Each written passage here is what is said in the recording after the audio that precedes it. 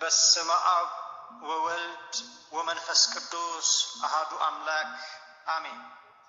መላው የኦርቶዶክስ ተዋሕዶ አማኞች በሙሉ እንዲሁም የቻናላችን ተከታታዮች እንኳንም ለታቦር በዓል በሰላም በፍቅር በጤና በአንድነት አደረሳችሁ አደረሰን እያልን እነሆ ለዛሬ ከስደት ስንቃችን እናት ልጆች ማህበር ኪነ ጥበብ ክፍል ተዘጋጅቶ የቀረበላችሁን ቡሄ በባህላችን የተሰኘ መንፈሳዊ ጭውውት ይዘንላችሁ ቀርበናል።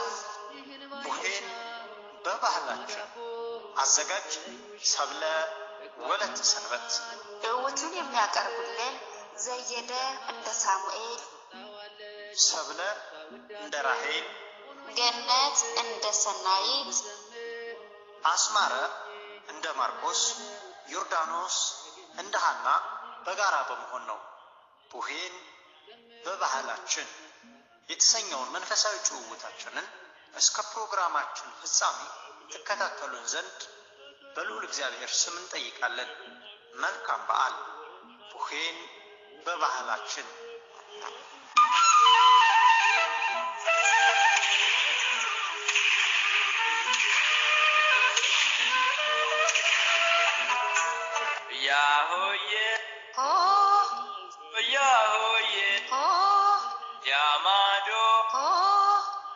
በግርማ ቆሟ ሆ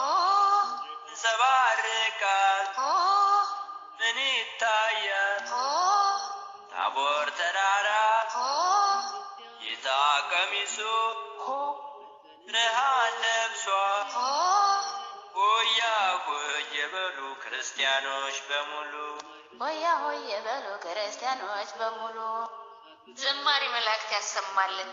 እንዴ ጉድ ፈላ። አንቺም እንደ ወንዶቹ ሆያ ሆየ ማለት ጀመርሽ እንዴ? ለነገሩ ዘመኑ ተገለባብጦ ባህሉም ትውፊቱም የቱ የማን እንደሆነ ተሳተ። እንዴ ሀኒ ምስጋና ደግሞ ለወንድና ለሴት ተከፋፍለዋል እንዴ? ሆይ እንዴ አሁን ሳሚ አንተም ሳሚ ከወንዶች ጋር ነው የሚያምርብሽ።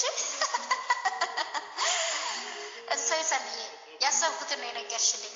እኔም ልል ነበረ። በነገራችን ላይ እኮ ቡሄ ሲመጣ ምንድን ነው የሀሳብ ደልትሽን አቆምሽ እኮ። ቀጥይ እንስማ። አይ እሺ ልቀጥል። አመሰግናለሁ። እኛ አካባቢ ግን ቡሄ ሲመጣ ወንዱ በወንዱ በኩል ሆያ ሆያ በሉ ክርስቲያኖች በሙሉ ሆያ ስል አደርኩኝ ዱር ይላል። ሴቷ ደግሞ ቡሄ ቡሄ በሉ ቡሄ ቡሄ በሉ ቡሄ መጣ ያመላታ ቅቤ ገቡት እንዳይመጣ እንላለን ነበር። በነገራችን ላይ ካላደከምኳቸው ትንሽ የቡሄ ገጠመኝ አለኝ ልናገር። ኧረ ራሄል በደንብ ነዋ ወገባችንን ትጥቅ ብለን የምናዳምጥሽ። እንዲያውም ይኸውልሽ ራሄል ነይ ሆያ ሆዬ ሆያ ሆዬ ሆያ ሆዬ ሆ የኔ የፈተለችው ሆ የሸረሪት ድር ሆ አስመሰለችው ሸማኔ ጠፍቶ ማርያም ሰራችው። በይ ቀጥይ አሁን ልባችንን አታንጠልጥይ። እንኳን ልፈትለውና በጄም አልዞረ ይህን ያክል ማሞያ ካለ እሺ ልቀጥል። ምን መሰላችሁ በአካባቢያችን የቡሄ በዓል ከመጣ ስናከብር ከትልልቆች በላይ የቡሄ በዓል ላይ የሚደሰቱት ልጆች ናቸው። ጨዋታ ስላለው ማለት ነው። ሌላ ትርጉሙም ምንም አናውቀውም። እና የቡሄ በዓል የዋዜማው ዕለት እናቶቻችን አባቶቻችንን ኬትም አምጡ እንላቸውና እንጨት ጨፍጭፎ ጎጆ ይሰሩልናል። አቤት እስከሚነጋ ያለው ችኳሎት። ከዛም ነጋ እናቴ ሙልሙል ጋገረችልኝ እና በየመንደሩ አለችኝ። ያንንም አዳረስኩኝ።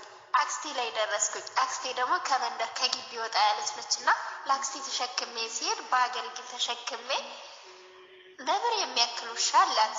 ከዛን እ ያ ውሻ ገና ድምፁን ሲያሰማ ያንን አገልግል ላዩ ላይ ወርውሬበት እኔ ሳይከተለኝ ተከትሎኛል መስሎኝ አቤት ሩጫዬን እየጮኩ እያልኩ ለካሱ ያንን እያፈነፈነ እዛው ቀርቷል ኖሯል። እኔ አንድ ጊዜ በአይኔ ብቻ ስላየሁት ከዛ ያንን ወርውሬ ለመጥቼ እቤት ገብቼ ለእናቴ ሰጥቻለሁ አስረክቤያለሁ ብዬ ኃላፊነቴን ተወጥቻለሁ ብዬ ለእናቴ ነገርኳት። በዛ ቅጽበት እደሰትበታለሁ ያልኩትን ቀን ቁዝም ብዬበት ዋልኩ። አንደኛ እናቴንም ዋሸዋት፣ ሁለተኛ ደግሞ በዛ በውሻ ምክንያት በጣም ተደናግጬ ዋልኩኝ። በዚህ በጣም ቆዘምኩኝ።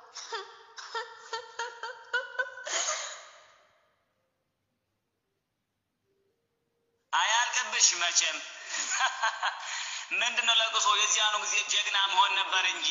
በነገራችን ላይ ቡሄ ትልቅ ባህላዊ ትውፊት አለው እኮ። ለምሳሌ በእኛ አካባቢ ልጆቹ በተለይ ወንዶቹ በጊዜው ጎጆ ይሰራሉ። ከዚያ ማታ ምሽት ሲል ችቦ የቤቱ አባወራ ወንዶች ልጆች ጎረቤቱ በአንድነት ሆነው ችቦ ያበራሉ። ሴቶች ግን አያበሩም። ከዚያም ሲነጋ ሴቱም ወንዱም ልጆች ወተት ያለው ወተቱን ይዞ ሙልሙል ተጋግሮ እዚያ የተሰራው ጎጆ ሄደው ቡሄ በሉ ቡሄ በሉ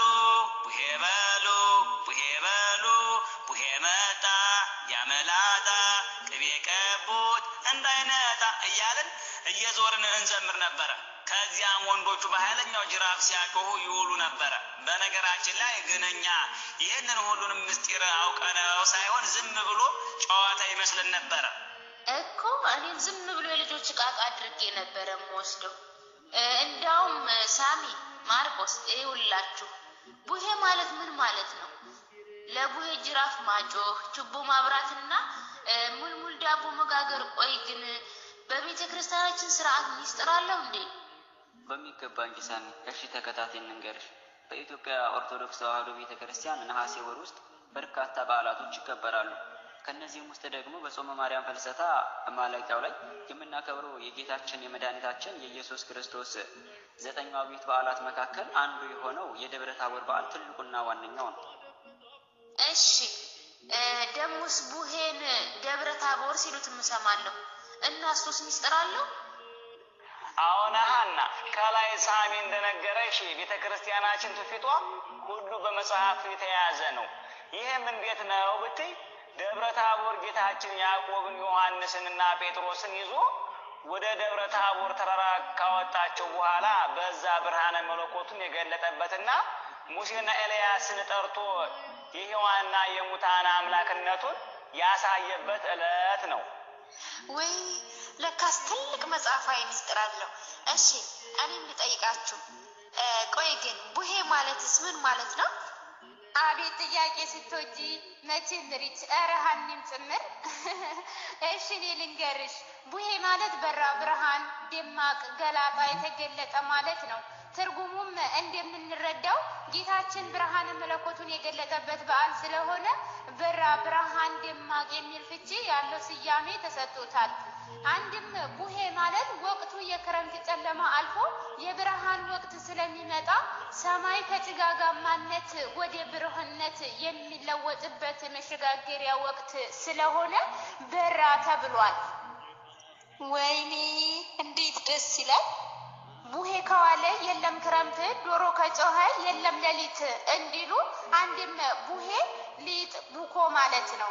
በዚህ በዓል ቡኮ ተቦክቶ ዳቦ ወይም ሙልሙል ተጋግሮ የሚታደልበት በዓል ስለሆነ ይህ ስያሜ ተሰጥቶታል።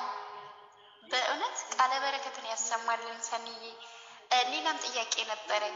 እሱስ ምንድን ነው ብትሉ በቡሄ ጊዜ የሚጋገረው ሙልሙል ዳቦ ታሪካዊ አመጣጡና ትርጉሙስ ምንድን ነው? በጥያቄ ያደረግኳችሁን። አረ በፍጹም ደስተኞች ነን። የማናውቀውን እየተጠያየቀን መማማሩ በጣም መልካም ነው። ሳያውቁን ከመጻት ጠይቆ መረዳት ያስፈልጋልና። እሺ ራሄል፣ ወደ ጥያቄሽ ላምራና የሙልሙል ዳቦ ሃይማኖታዊ ትርጉምና ታሪኩም አመጣጡ ሙልሙል ዳቦ ጌታችን መድኃኒታችን ኢየሱስ ክርስቶስ ብርሃናዊ መለኮቱን በገለጠበት በዚህ ዕለት በደብረ ታቦር አካባቢ የነበሩ ሕፃናት እረኞች ቀኑ እየመሸ ስለመሰላቸው ጌታችን በብርሃን አካባቢ ሞልቶ ስለነበር እዚያው ሆነው ከብትና በጎቻቸውን እየጠበቁ ሲቆዩባቸው የሰዓቱን መግፋት እየተመለከቱ ወላጆች በችቦ ብርሃን ተጠቅመው ለልጆቻቸው የሚቀመስ ሙልሙል ዳቦ ይዘው ወዳሉበት መምጣታቸውን ያሳያል። በዚህም ታሪኩን እየዘከርን በዓሉን እናከብራለን። በሌላም እንደ ሐዋርያት የምስራች ሲነግሩን ወንጌል ሲሰብኩልን ወደ የደጃፋችን መጥተው ጌታችን ደቀ መዛሙርቱን በደረሳችሁበት ሁሉ ተመገቡ ብሏልና ሕፃናቱም የጌታችን በዓል ሲያበስሩ ሲመጡ ሊያበስሩ ሲመጡ ዳቦ መስጠት ልማዳዊ ብቻ ሳይሆን ሕፃናቱም የደቀ መዛሙርቱ ምሳሌ ናቸው። አቤት አቤት፣ ምን ነው ሽንጥሽን ገትረሽ በጥያቄ ያደረግሻቸው? ኮሪችዬ ለከ ጓደኛ አለኝ የኔ ቢጤ ልጅ ጥያቄ አጠግቢ። የእውነት ግሩም ታሪክ ነው ስትነግሯት የሰማሁት። እኔ የምለው ግን በቡሄ ጊዜ ቡሄ ቡሄ በሉ ብለን የመዘመር ታሪካዊ አመጣጡስ እንዴት ነው? አይ ምንም ችግር የለውም።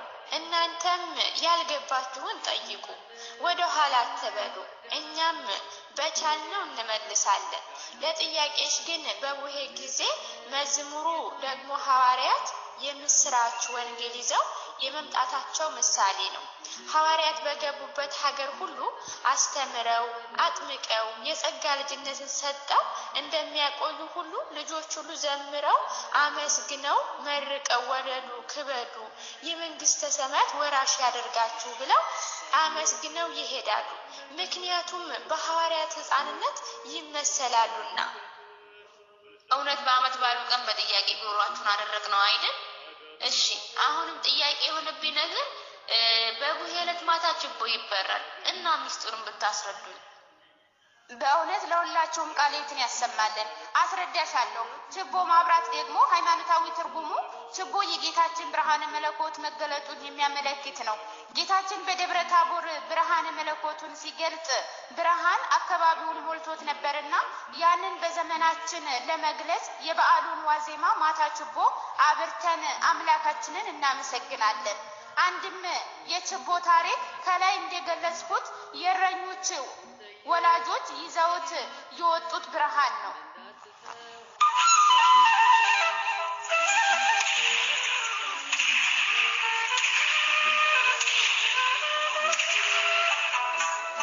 እድሜ ይስጥልን። በእውነት እኔም ያልገባኝ ጥያቄ ነበረኝ። እሱስ ምንድን ነው? በአካባቢ የቡሄ በዓል ዕለት ማታ ወንዶች በኃይለኛው ጅራፍ ያጮሃሉ እና ይሄስ ምንድን ነው? ምሳሌ አለው?